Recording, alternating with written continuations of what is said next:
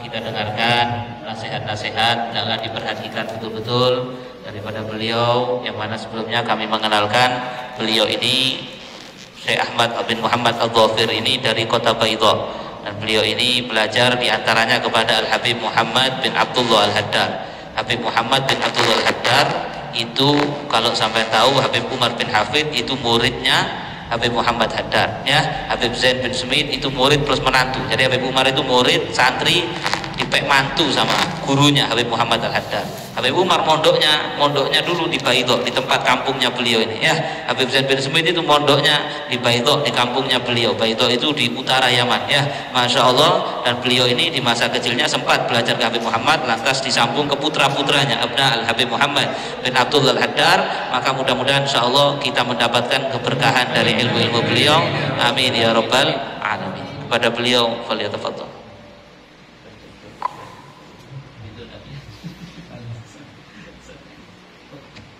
اللهم صل على محمد. السلام عليكم ورحمة الله وبركاته.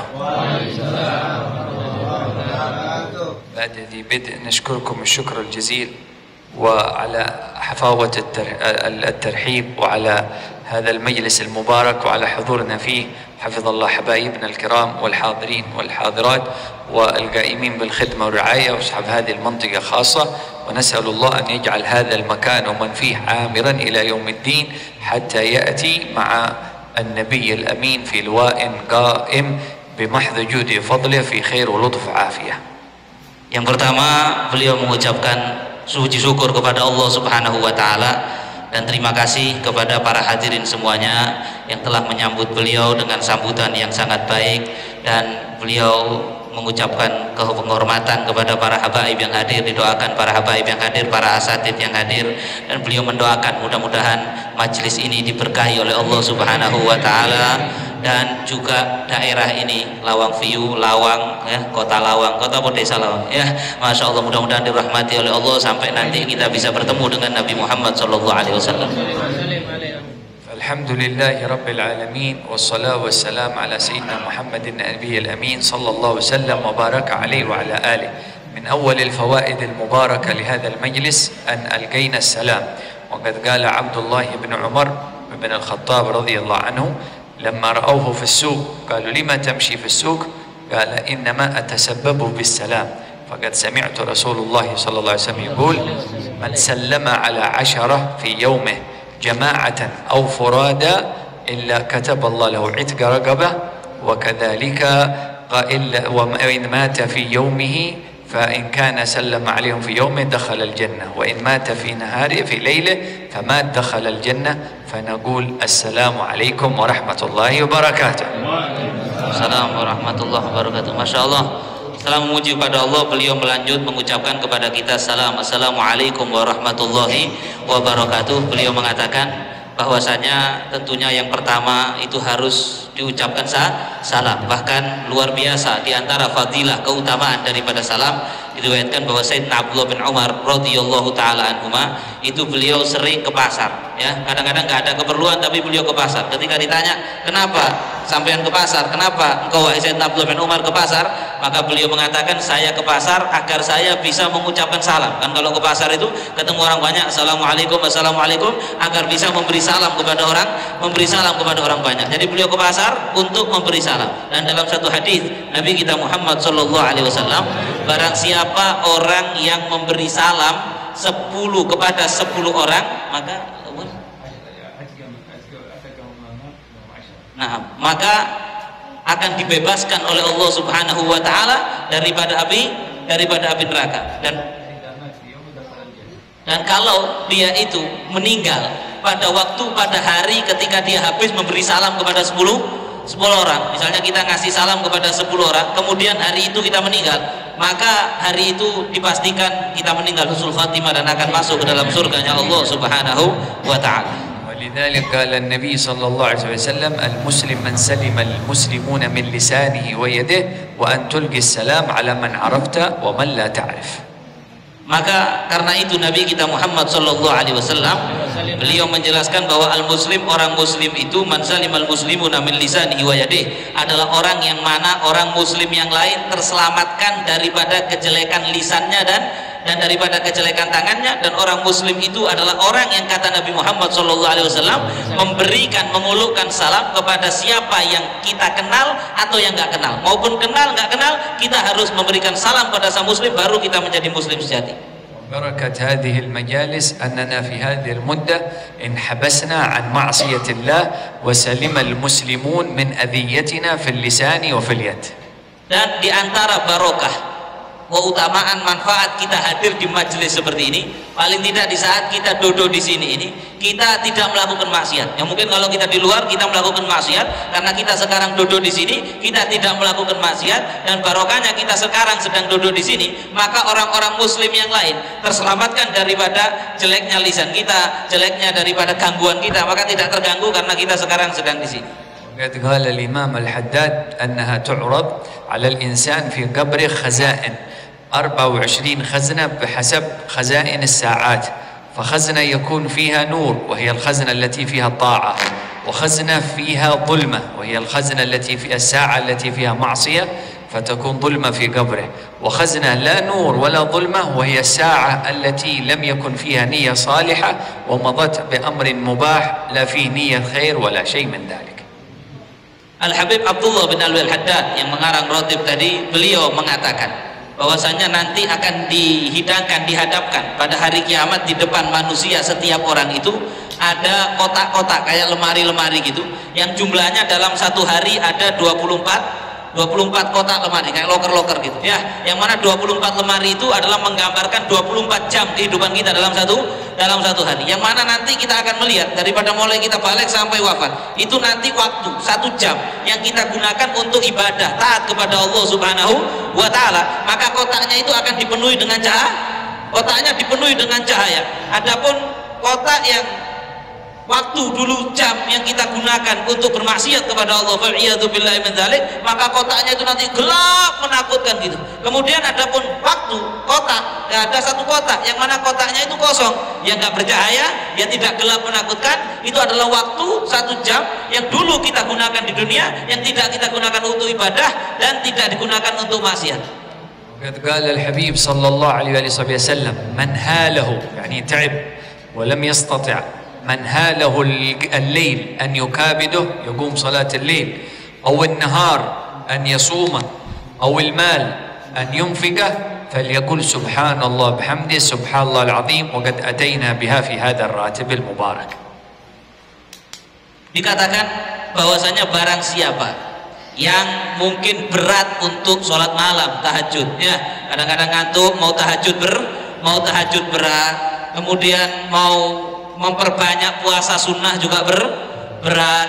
Mungkin kadang karena faktor ekonomi mau memperbanyak sotakoh juga ber, juga berat maka dikatakan memperbanyak hendaklah memperbanyak subhanallah bihamdi subhanallahil azim maka dengan memperbanyak bacaan subhanallah bihamdi subhanallahil azim maka insya Allah akan menggantikan daripada sholat tahajud yang terlepas puasa sunnah yang terlepas sodako yang gak terlalu banyak dan Alhamdulillah pada malam hari ini kita sudah membaca dalam rotib haddad tadi subhanallah bihamdi subhanallahil azim tiga kali كان رجل في اليمن اسمه أبا قبيسة وهذا صحابي من أصحاب رسول الله جاء إلى اليمن من اليمن إلى عند رسول الله دينة فقال يا رسول الله قد اشتعل مني الرأس شيبة ووهن مني العظم كبرت وقد جئتك طالبا للعلم.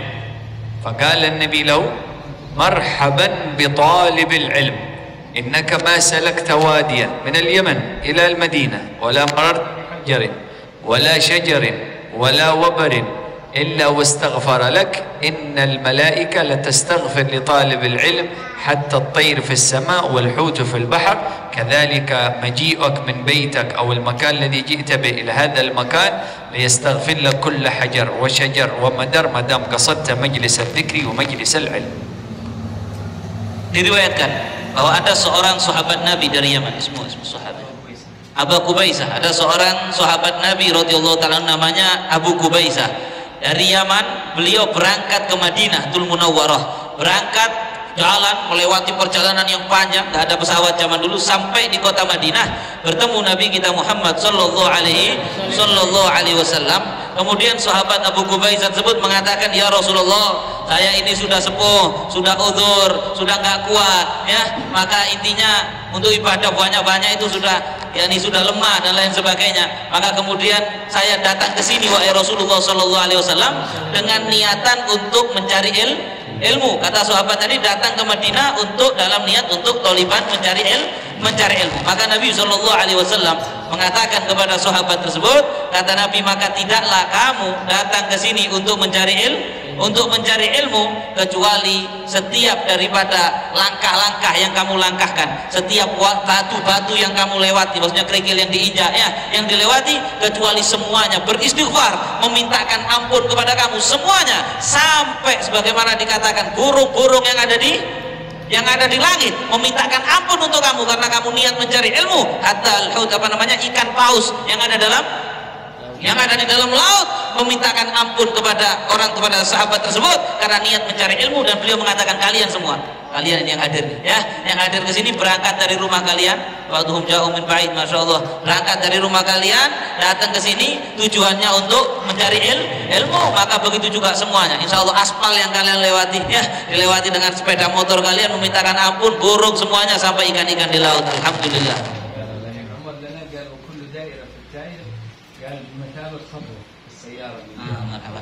Beliau mengatakan kata beliau kata Habib Umar bin Hafid bahwasanya sekarang kalau dulu ada hadis-hadis setiap langkah pahalanya sekian maka ketika sekarang kita naik kendaraan naik mobil naik sepeda motor maka setiap putaran roda sepeda kita itu satu putaran dihitung satu langkah وهكذا جاء إلى وفي رواية قال له النبي إن الملائكة لتضع أجنحتها لطالب العلم وفي رواية لتحفه وفي رواية لتظله قال حبيبنا سالم الشاطري لما ذكر هذا الحديث قال تخيل أنك طالب العلم خرجت من البيت وفرشوا لك في الطريق قطيفة من بيتك إلى المكان الذي تدرس فيه ثم ملائكة ثم حراسة عن يمينك وعن يسارك وطائرة تظلك للحراسة.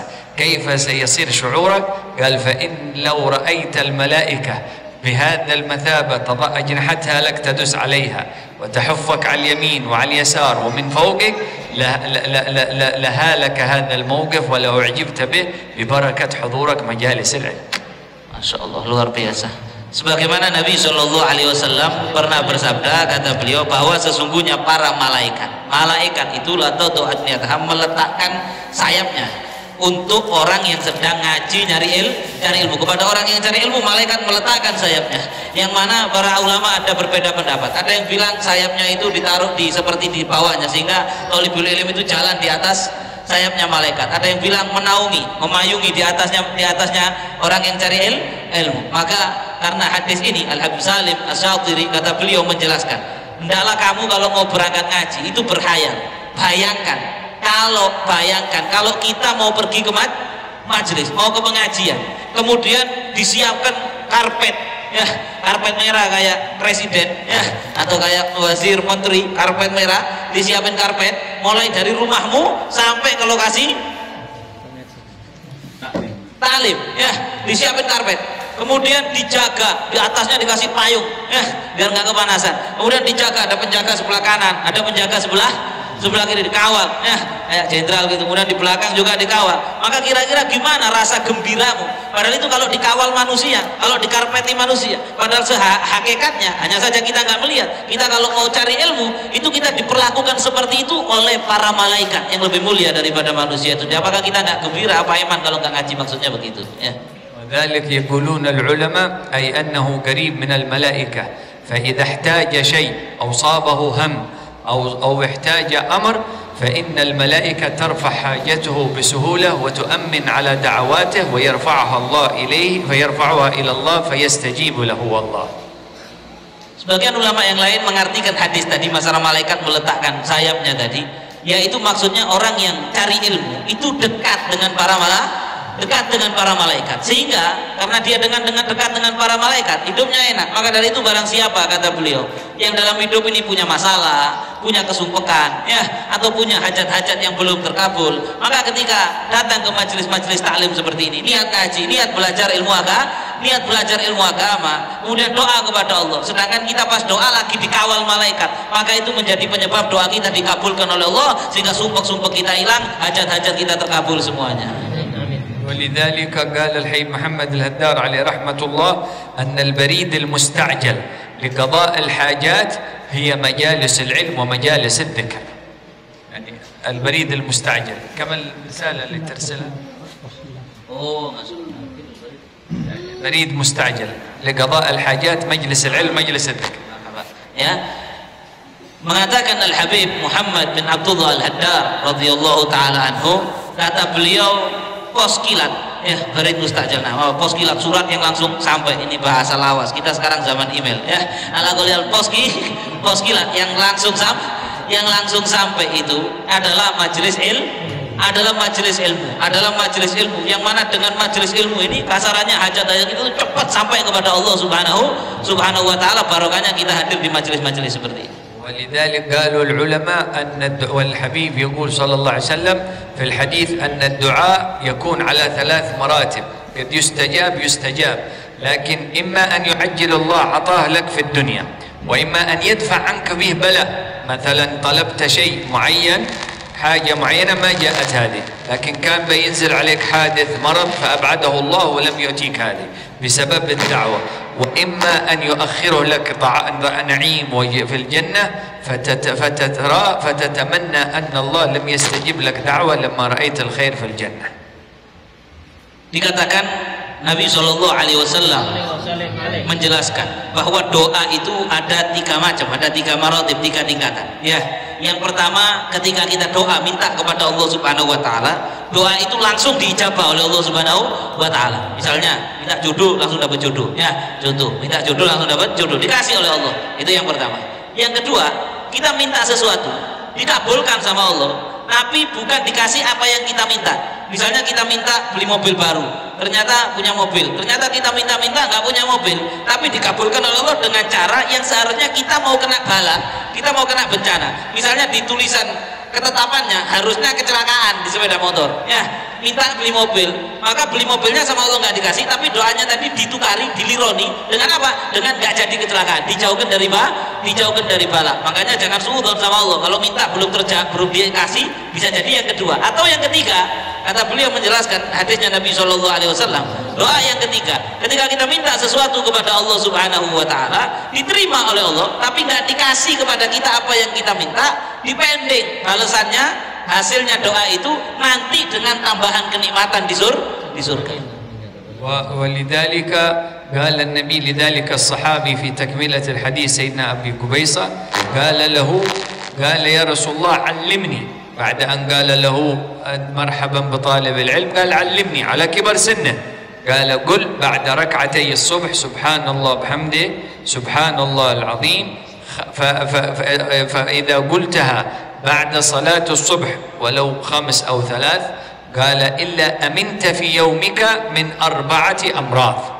المرض الأول العمى والثاني الجنون والثالث البرص مرض الجلد والثالث المرض الفالج الذي هو مرض الشلل Melanjutkan tadi daripada riwayatnya sahabat yang dari Yaman tadi Sayyidina Abu Qubais tadi yang datang ke Nabi Shallallahu Alaihi Wasallam setelah tadi dijelaskan Abu Qubais itu mengatakan kepada Nabi ya Rasulullah wahai Nabi alimni wahai Rasulullah ajari saya ajarkan saya beri saya il, ilmu padahal beliau orang yang umurnya sudah sepuh ya maka nggak nggak malu untuk belajar maka kemudian Nabi Shallallahu Alaihi Wasallam memerintahkan dan mengajarkan kepada beliau untuk membaca Subhanallah bihamdi Subhanallahil azim setelah sholat subuh setelah sholat subuh. Bacalah. Maka kata beliau terserah mau baca lima kali mau baca sepuluh kali ya mau baca berapa kali. Maka ketika engkau baca setelah sholat subuh ini amalkan ini ijazah dari beliau ya dan ini dari hadis Nabi Shallallahu Alaihi Wasallam. Setelah sholat subuh baca Subhanallah bihamdi Subhanallahil Lil azim maka barang siapa yang membaca itu maka dia diselamatkan dari empat penyakit. Yang pertama buta, insya Allah tidak akan buta. Ya, yang baca ini insya Allah tidak akan terkena penyakit penyakit buta. Yang kedua nah, baros, yang kedua belak, ya tahu sakit belang yang orang kulitnya belang-belang maka orang kalau habis sholat subuh baca subhanallah bihamdi subhanallah azim tidak akan terkena penyakit bel belang uh, yang ketiga tidak akan terkena penyakit mental ODGJ tidak jadi ODGJ ya. Tidak jadi orang ki tidak akan terkena junun yang keempat Ustruk. Yang keempat Alhamdulillah ini dibantu oleh Abdul Qadir ya. Ada beberapa kalimat yang modern-modern saya kurang tahu dibantu Abdul Qadir. Hafizahullah Mudah Habib Qadir panjang umur. Yang keempat yaitu dijauhkan Allah dari penyakit set Insya Allah, stroke-stroke baca itu sembuh insyaallah. Amin. Wa وقد رأى النبي صلى الله عليه وسلم رجل يقول يا ذا الجلال والإكرام يا ذا الجلال والإكرام يا ذا الجلال والإكرام متنا على دين الإسلام. فقال النبي صلى الله عليه وسلم سل ما شئت فإن الله يستجيب لك بعد ذلك. Diriwayatkan bahwa ada seseorang di depan Nabi Shallallahu Alaihi Wasallam berkali-kali membaca ya dal jalali wal ikram. Para hadirin harus paham yang beliau sampaikan ini semuanya yang kita baca di rotib tadi. Ya, maksud beliau menjelaskan ini karena tadi bacaan-bacaan ini ada dalam ada dalam rotib. Ada seorang sahabat yang membaca ya dal jalali wal ikram, ya dal jalali wal ikram, ya dal jalali wal ikram amitna ala dinil Islam. Artinya wahai Allah yang maha luar biasa, matikan saya, matikan kami dalam keadaan beragama Islam. Maka ketika Nabi mendengar orang itu para sah seorang sahabat itu membaca kalimat itu, lantas Nabi mengatakan kepadanya, "Hei, kamu setelah membaca kalimat ini, mintalah kepada Allah apa saja yang kamu minta, pasti akan diijabah oleh Allah Subhanahu wa taala." قد جمع الإمام الحداد هذا الراتب لما رفعوا إليه شكوى أهل حضرموت أن الجن آذت كثير من الناس وبدأت تخطفهم وتسبب فيهم الأذى فشكوا إلى الإمام أحمد بن زين الحبشي رحمه الله تلميذه قال لا نتقدم على شيخنا فنسأل الإمام الحداد فسألوا الإمام الحداد فألهمه الله هذا الراتب فكان إذا قري حفظت البيوت من حواليه قيل البيت الواحد إذا قري يحفظ الله أربعين بيت من حواليه diceritakan asal salah satu riwayat asal muasal daripada Al-Imam Al-Habib Abdullah bin Alwi Al-Haddad mengarang daripada rotib ini bahwasanya dulu ada orang yang mengadu wadul sambat ke Al-Habib Ahmad bin Zain Al-Habsyi yang mana alhamdulillah ini gerakna Risalatul Jami'ah lil Habib Ahmad bin Zain Al-Habsyi ya. Yang kita baca kitabnya di sini biasanya Risalatul Jami'ah. Itu karya Masya Allah. Beliau tambahkan Al Habib Ahmad bin Zain Al Habsyi itu minta kepada Allah agar siapa yang membaca kitab Risalah Jamiah yang kita baca setiap Sabtu di sini biasanya itu siapa yang baca itu maka didoakan oleh pengarangnya akan dibuka oleh Allah Subhanahu Wa Taala sehingga mendapatkan futuh mendapatkan ilmu. Ya kembali ke kisah yang beliau ceritakan tadi. Ada orang mengadu ke Habib Ahmad bin Zain Al Habsyi bahwasanya wahai Habib ini kampung kita diganggu jin. Ya jin sudah ganggu, merasuki, bahkan sampai menculik bisa ya. Ada orang diculik sama jin, hilang, diculik jin. Gimana ini? Bagaimana? Tolong kita dikasih amalan untuk membentengi agar jin nggak bisa mengganggu ganggu kehidupan kita kayak gini susah. Maka Ahmad bin Zain Habsyi mengatakan saya nggak berani ngelangkai guru saya. Siapa gurunya? Al Habib Abdullah bin Ali Al Al Haddad maka disampaikan permasalahan tersebut kepada Al Habib Abdullah bin Al Haddad maka Al Habib Abdullah bin Al Haddad mendapatkan ilham dari Allah Subhanahu wa taala ilham apa? Ilhamnya ya rotib haddad tadi ya. Mendapatkan ilham rotib yang kita baca maka kemudian barang siapa yang membaca diajarkan dibaca selamat kampung tersebut siapa yang membaca rotib ini dijaga oleh Allah. Dirinya keluarganya rumahnya dari empat penjuru dari empat penjuru bahkan tetangga-tetangganya. Bahkan sampai 40 rumah ke sana 40 rumah ke sana. Yang baca rotib satu di sini 40 ke sana 40 ke sana dijaga oleh Allah Subhanahu wa taala وهذا يؤكد كلام الإمام الحداد حديث النبي صلى الله عليه وسلم فيما رواه الإمام الطبراني عن ابن عمر إن الله ليدفع من البلاء بصلاح قلب المسلم الواحد عن مئة بيت من حواليه وقرأ قول الله تعالى ولولا دفع الله الناس بعضهم ببعض Sebagaimana dikatakan? Nabi Nabi. Nabi Shallallahu Alaihi Wasallam mengatakan bahwasanya hal ini membenarkan. Apa yang disampaikan tentang rotib tadi bisa melindungi sampai 40 sampai 40 rumah itu menguatkan daripada satu riwayat dari Nabi Shallallahu Alaihi Wasallam bahwa Allah itu bisa saja menjaga satu daerah satu daerah yang besar ya bahkan sampai 100 rumah bisa dijaga oleh Allah dengan kesolehan sehati seorang yang ada di tengah-tengah yang ada di tengah-tengah situ ya jadi kalau di tengah-tengah situ ada satu kesolehan seorang hamba maka bisa menjaga daripada masyarakat yang ada di sekitarnya وكذلك جاء بعض الصحابة إلى النبي صلى الله عليه وسلم كما ذكره الإمام النووي في كتاب الأذكار فجاء وقال يا رسول الله دلني على عمل ينفعني الله به. قال قل سبحان الله والحمد لله ولا إله إلا الله والله أكبر. مشى الصحابي إلى عند الباب ثم عاد فقال النبي رشد الرجل. Diriwayatkan bahwasanya ada seseorang dalam riwayat hadis di dalam kitab Al-Adhkar Imam Nawawi radhiyallahu taala anhu bahwasanya ada satu orang datang kepada Nabi sallallahu alaihi wasallam yang orang itu minta ya Rasulullah tunjukkan kepada saya satu amal satu amalan. Maka kemudian Nabi sallallahu alaihi wasallam memerintahkan dia untuk baca subhanallah walhamdulillah wala ilaha illallah wallahu akbar sama Nabi disuruh baca itu kemudian ketika orang itu berdiri dia keluar kemudian sampai di depan النبي رشد الرجل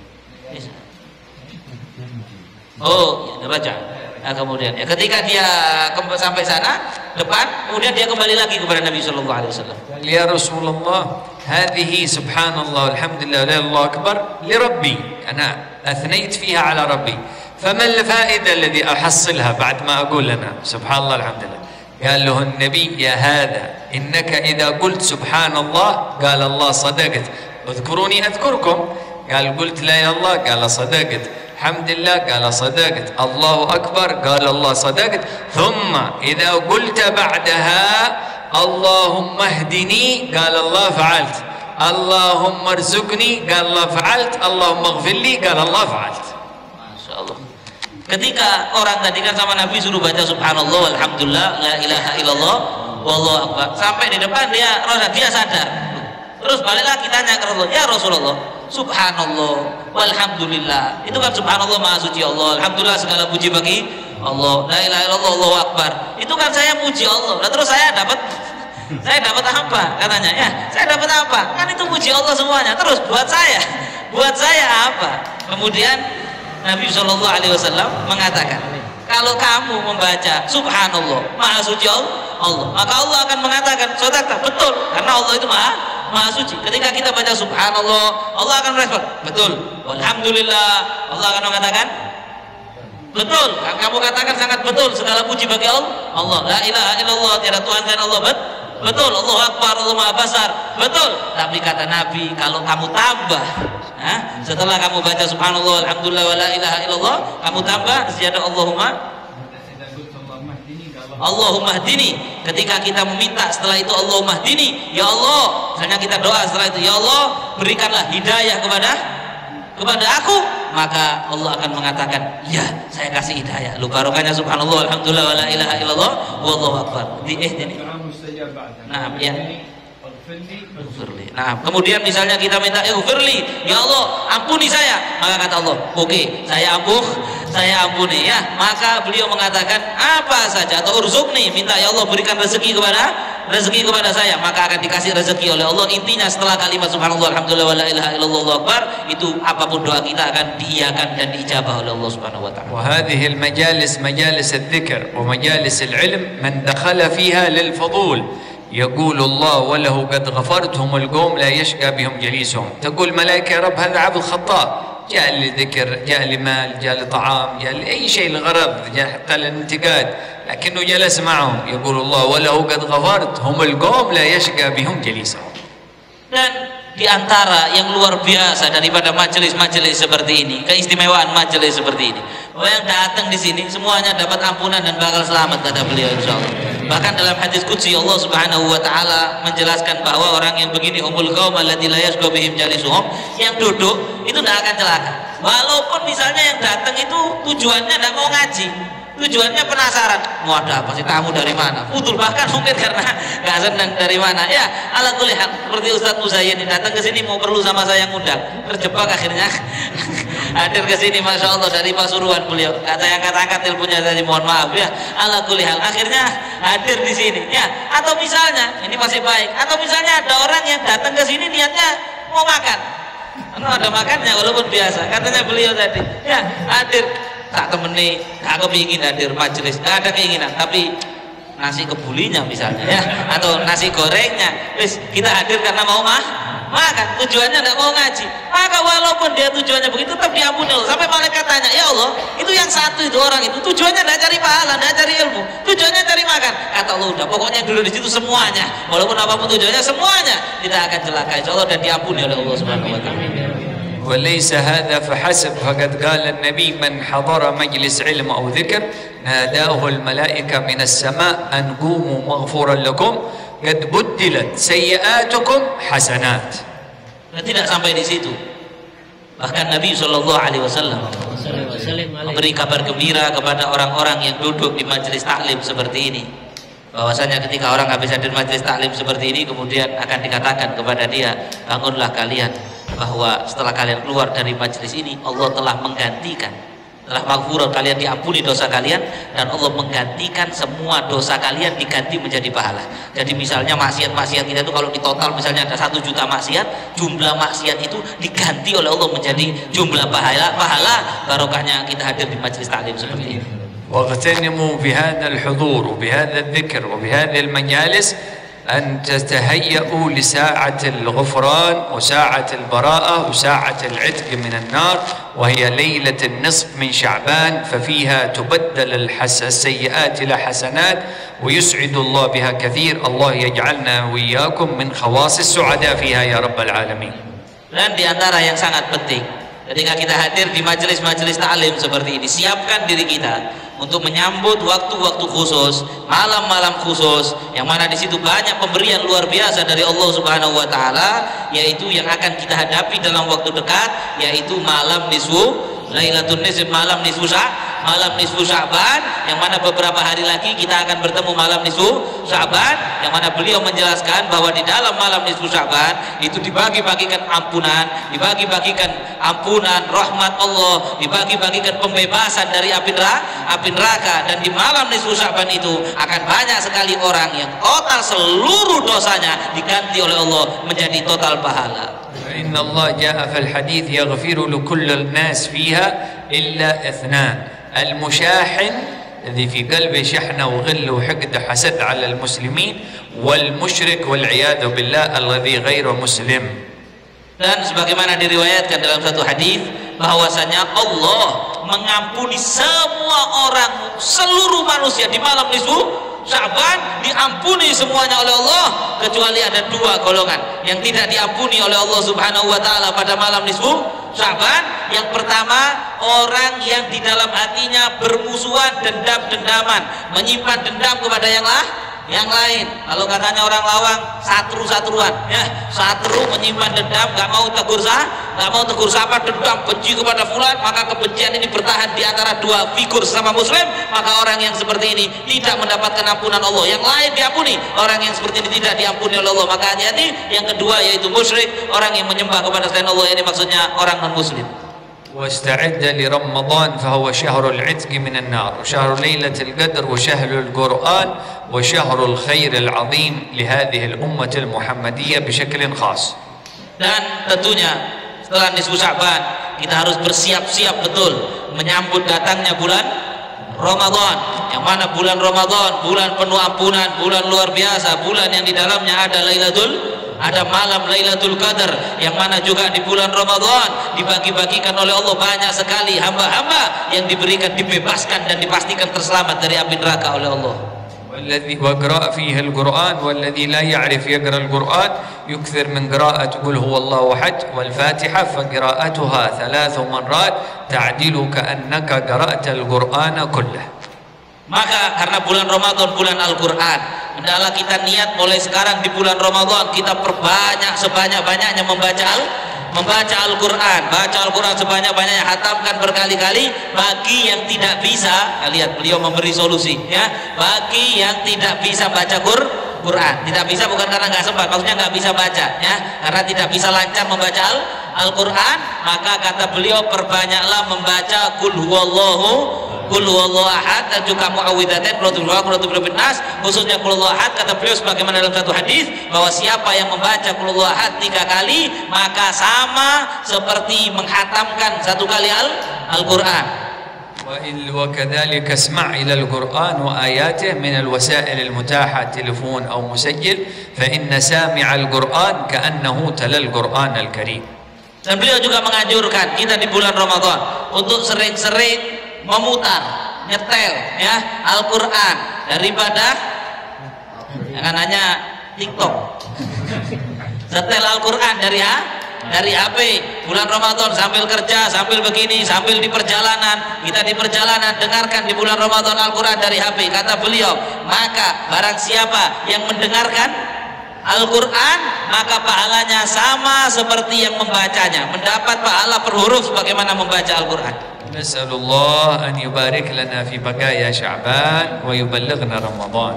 وأن يجعل حظنا وافر من ليلة القدر وليلة البراءة وليلة الغفران وليلة الخير وليلة العتق من النار وأن ينظر إلينا وإليكم في أول ليالي رمضان بل من ساعتنا هذه وأن يحول الحال إلى أحسن حال وأن يديم هذه الأذكار وهذه المجالس عامرة ويكثر أصحابها وأهلها وجيرانها حتى يشرق أنوار هذا المكان على أهل الشرق والغرب وأن تعم أنواره في كل مكان وأن يجعلنا وإياكم من عباده الأبرار ويصلح لنا ولكم الأقوال والأفعال وأن يجعلنا وإياكم للمصطفى قرة عين وبلغنا زيارة النبي المصطفى حج بيت الله الحرام ويعيننا وإياكم على ذكره وشكره وحسن عبادته وأن يكرمنا ولا يهنا ويزدنا ولا ينقصنا ويعطنا ولا يحرمنا. اللهم يا جامع الناس اليوم لا ريب فيه. اجمع بيننا وبين نبيك في اليقظة والمنام. واجمع بيننا وبين الصديقية الكبرى. واجمع بيننا وبين المقامات العظمى واجمع بيننا وبين المراثة المحمدية يا رب مع العافية واكرمنا يا رب العالمين بذلك وأكرم أخواننا القائمين بكل عافية ومعونة واجزهم عنا خير الجزاء. حبايبنا الكرام والحاضرين والمرتبين والنساء وأهل هذه المنطقة وهذا الحي واجعلهم سعداء أبد الآباد يا رب العالمين وكثر الحاضرين في هذا المجلس. واجعلهم كثيرين يا رب العالمين عددا وعدة وعدة عندك يا رب العالمين. واجعلها راية مرفوعة تصطفح الرايات النبي محمد صلى الله عليه وسلم ونرد معها إلى الحوض ونرد معه صلى الله عليه وسلم في الفردوس الأعلى ونكون مجموعين في المراتب العليا مع الخير واللطف والعافية. يشمل أولادنا وأزواجنا وذريتنا وأحبابنا والعصرنا ووقتنا وزمننا. سلاسل أخذنا إلى سيد المرسلين. ومن يأتي من بعدنا يا رب العالمين. اجعلنا وإياهم صالحين مصلحين. في خير ولطف وعافية. وصلى الله على سيدنا محمد والعافى منكم. وفي الختام نقول كذلك السلام عليكم. السلام ورحمة الله وبركاته. Masya Allah pendek ya ceramahnya ya kita pengen lebih panjang lagi sebenarnya. Beliau doa panjang lebar untuk majelis kita untuk yang hadir semuanya. Didoakan untuk majelis ini didoakan juga luar biasa. Semua khususnya anak-anak yang khidmat Masya Allah didoakan juga anak-anak yang khidmat. Untuk tertenggalanya majelis ini didoakan luar biasa oleh beliau. Dan doanya panjang nggak saya terjemahkan intinya. Wis masih sampai karu lah pokoknya diijabah ya Allah ter, terrealisasi. Ya ala kulli hal yang terakhir beliau ucapkan assalamu assalamualaikum. Sebagaimana kata beliau tadi dibuka dengan assalamualaikum ditutup juga dengan assalamualaikum. Ini juga ilmu maka dari itu kita walaupun nggak ceramah kalau ngomong sama orang telepon ya buka dengan assalamualaikum ditutup dengan waalaikum waalaikumsalam. Mau itu ngomong sama orang WA ya jangan langsung. Tuh berangkat apa enggak hari ini? Jangan ya. Kita mulai dulu dengan assalam assalamualaikum sebagaimana beliau. Ditutup juga dengan assalam ditutup juga dengan assalamualaikum. Ustadz Bisri hadir enggak ada Masya Allah. Mursyid Masya Allah Oh, gak ada. Gak ada yang mursyid ini sebelum sholat isya. Ada yang daftar mau kosidah, angkat tangan. Gak ada. Masya Allah. Alas ya, mudah-mudahan semuanya diterima oleh Allah dan kita mengucapkan asyukurukum ya syukran jazilan masya Allah ya furahun dan kita harapkan beliau bisa datang insya Allah karat marat ya insya Allah insya Allah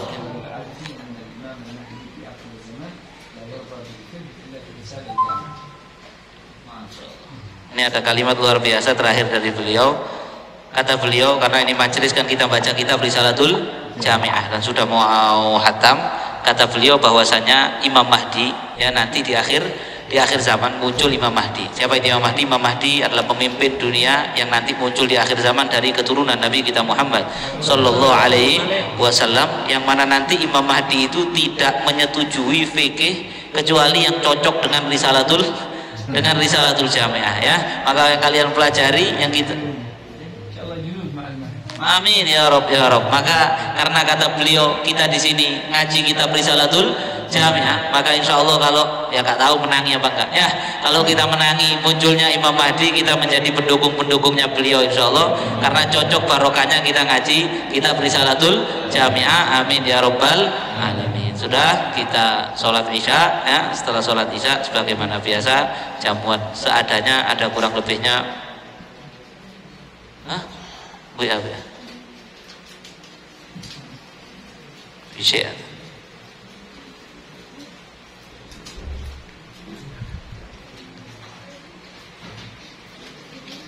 Hah? Belum datang. Pas musolli بعض الأحيان المجلس إلى ساعة ثمانية ونصف لا الأكل يعني تأخر شوية ما في مشكلة ya nggak apa-apa kita sholat isya berjamaah karena yang kosida nggak hadir. Ya dan nggak ada yang mau kosida tutup sampai di sini. Ada wal afu minkum. Wassalamualaikum warahmatullahi wabarakatuh. Ya rabbana atarafna bi annana atarafna wa annana asrafna ala ladha asrafna. Fatub alaina tauba tawsil li kulli hauba wastur lana al-awrati wa amin ar-rawati waghfir li walidina wa mauludina والآل والإخوان وسائر الحلان وكل ذي أو جيرة والمسلمين أجمع آمين يا ربي أسمع فضلا. لا بانتساب منا بالمصطفى رسولي نحظى بكل سولي صلى وسلم ربي عليه حق الحب وآله وصحبه. عدد تعصي صحبي والحمد للإله في البدء والدهر